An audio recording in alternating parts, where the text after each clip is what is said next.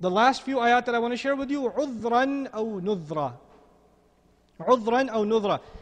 People, all of us will feel the wind on our face. There'll be two kinds of people. People that will take the reminder and now they are warned, right? What's the other kind of person? Nothing. Nothing. They just pass, oh, nice breeze. Right? So for the people who took the warning, the, me, the winds served as a warner. Nudra. And for the people who didn't care, now the wind is an excuse to punish them.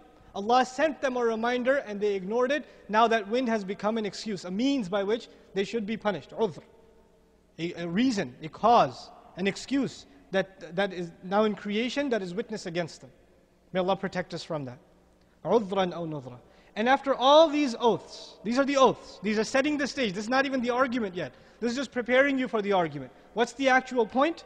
إِنَّمَا تُوعَدُونَ لَوَاقِعٌ What you have been promised is no doubt going to become certainty. It is going to happen. You have been promised something, it is bound to occur. Either just like these winds that deliver Allah's mercy or Allah's wrath, you will be the recipient uh, one day of Allah's extreme mercy or Allah's extreme wrath. It is bound to happen. Oaths in the Quran are a profound literary masterpiece in and of themselves. Each one of them. The surahs that begin with oaths demand special, special study, just in and of themselves right? And they're not all structured in the same way. It's an intricate study that a lot of our ulama went into.